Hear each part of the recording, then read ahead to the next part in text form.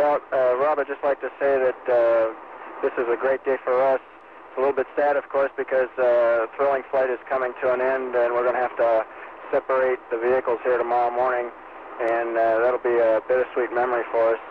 We've had a great time getting uh, Mike ready to take over the place uh,